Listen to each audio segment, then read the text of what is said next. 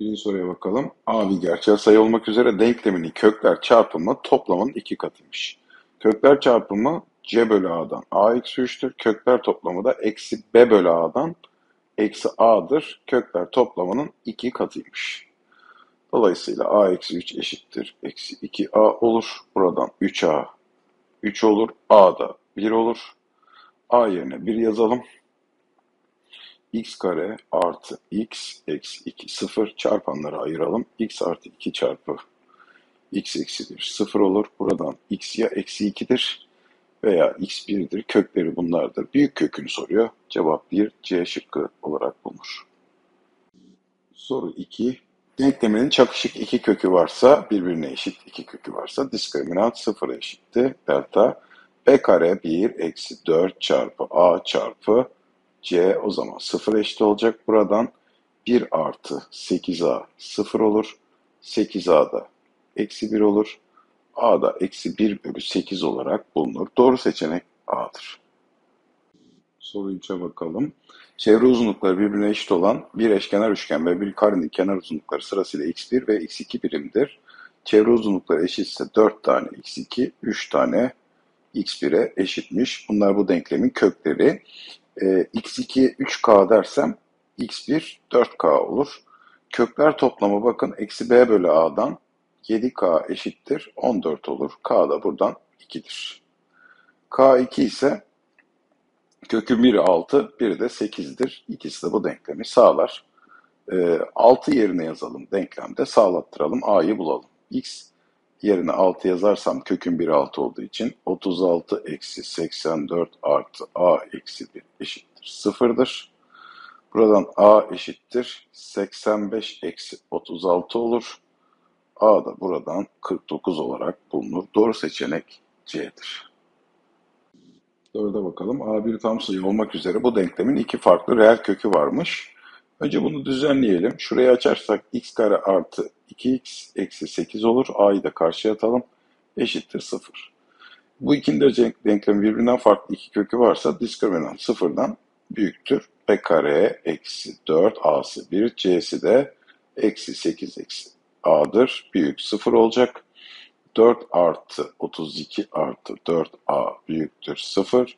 4A büyüktür eksi 36 olur. A büyüktür eksi 9. En küçük e, değeri eksi 9'dan büyük tam sayı dediği için eksi 8 olur. Doğru seçenek C'dir. 5'e bakalım. Bu denklemlerin çözüm kümeleri aynıymış. A çarpı B çarpımı kaçtır? E, çözüm kümeleri aynıysa A eksi 2'nin A'ya oranı eşittir. Eksi 3'ün 1'e oranı eşittir.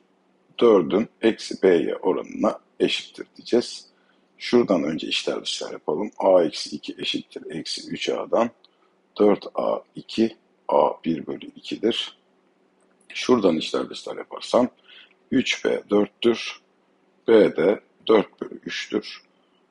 a çarpı b'yi soruyor. 1 bölü 2 çarpı 4 bölü 3'ten cevap 4 bölü 6 yani 2 bölü 3 olarak bulunur. Doğru seçenek B'dir. Altıncı soruya bakalım. Bu denklemin kökleri x1 ve x2'ymiş. Kökler toplamı 3'tür. Eksi b bölü a'dan. Onları önce bir kenara yazalım. Kökler çarpımı da c bölü a'dan 1'dir. Onlar bize lazım olacak. Şimdi soruda ifadeye bakalım. Şurası 6 bölü x1 artı 2 bölü şu, şununla şunu çarpıp 1 eklersem x1 çarpı x2 artı 1 bölü x2 olur. x1 çarpı x2 1'di. Bakın şurası 2 olur. Ee, bir bir daha 2. Bu ikiler sadeleşir. Şu ikiler sadeleşecek. Şurası 2 olduğu için. Bu x2 de yukarı çıkınca 6 bölü x1 artı x2 olur. Kökler toplamı da 3'tü. Dolayısıyla 6 bölü 3'ten cevap 2 B şıkkı olarak bulunur. Yedinci soru A sıfırdan farklı bir gerçek sayıymış. Bu polinomun bir kökü P sıfırmış. P sıfırı bulalım önce. P sıfır nedir? X yerine sıfır yazarsam A'dır. Kökü A ise bu A bu denklemi ne yapar? Sağlar. Yerine yazalım. A kare artı A kare artı A olur. Eşittir sıfır. Buradan 2A kare artı A sıfır. A parantezini alırsam 2A artı 1 sıfır. Buradan ya A0 çıkar ki A0'dan farklı dediği için olmaz. 2A artı 1 0 olur. Dolayısıyla A da eksi 1 bölü 2 olarak bulunur. Doğru seçenek Bursa'dır. Soru 8. Bu denklemin kökleri m ve neymiş? Denklemin kökü denklemi salacağı için m yazarsam m kare eksi 2m eşit 6 olur. n yazarsam n kare eksi 2n de o da 6 olur. Şimdi 12 bölü m kare eksi 2m'yi kaç bulmuştum? 6. Bakın bu 2 n kare eksi 4n. Bu n kare eksi 2n. Demek ki bu şu 6 ise bu da 2 katı 12 olacak. Bu da 12 bölü 3 olur. 12 bölü 6 2'dir. 12 bölü 3 de 4'tür. 2 4 daha cevap bu toplamın sonucu 6. D şık olarak bulunur. 9'a bakalım. Px ve Qx polinomlarının e, ortak kökü x0 anlamına gelir bu. Dolayısıyla x kare artı ax artı 2 eşittir 0. x kare artı 2x artı a 0 denklemlerinin önce ortak kökünü bulalım. Taraf tarafa çıkarırsak şu x kareler gider. x parantezinde a eksi 2 olur. Bu da artı 2 eksi a olur eşittir 0. x parantezinde a eksi 2 bu 2 eksi a'yı karşıya atarsam a eksi 2 buradan x 0 işte 1 olur. Ortak kök 1'dir. Şimdi bu 1 ikisini de sağlayacak. Ee, buradan a'yı bulurum. X yerine 1 yazayım. 1 artı a artı 2 sıfırsa a'yı bulurum. Eksi 3'tür. Şimdi a gördüğüm yere eksi 3 yazayım. Her ikisinde de. Şuraya. x kare eksi 3x artı 2 oldu birisi. İşte bu px. qx ise x kare artı 2x eksi 3 oldu. Bunları toplayayım. dx artı qx eşittir 0 denkleminin kökler toplamını soruyor. Bunların toplamı 2x kare artı pardon eksi x olur. Eksi 3x artı 2x daha eksi x. Eksi 1 eşittir 0. Bu denklemin kökler toplamı da eksi b bölü a'dan 1 bölü 2 olarak bulunur. Doğru seçenek bu Sorulan denklemin ardışık iki tam sayı kökü vardır. Ardışık sayılar arasındaki fark 1 ya da eksi 1'dir. x1 x2'den büyük olursa x1 eksi x2 1 olur. Ardışık tam sayılar arasındaki fark 1'dir. Ee, kökler toplamı da x1 artı x2 de eksi b bölü a'dan b'dir. Taraf tarafa toplarsak x2'ler sadeleşir. Buradan x1 b artı 1 bölü 2 olur. O zaman x2 de toplamları b olacak ya. E, b eksi 1 bölü 2 olur. Şimdi kökler çarpımını kullanalım. Kökler çarpımı x1 çarpı x2. Şu ikisini çarparsam 2 kare farkından b kare eksi 1 bölü 4 olur. O da neye eşit? Kökler çarpımı c bölü a'dan c'dir. Bakın b kare eksi 1 eşittir 4c olur. b kare eksi 4c de 1 olarak bulunur. Doğru seçenek A'dır. 11'e bakalım. Denklem sistemi sağlayan AB ikiler için A eksi B farkı maksimum kaçtır diye sorulmuş. Üstteki A kare artı AB 53'tür. A'yı dağıtırsam.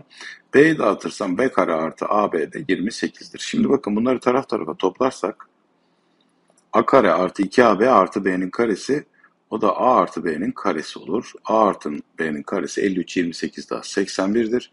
Buradan ya A artı B 9'dur veya A artı B eksi 9'dur. Bu birincisi. İkincisi bir de bunları taraf tarafa çıkaralım. Şu ikisini. Bakın şuraya alayım. Bu ikisini taraf tarafa çıkarırsak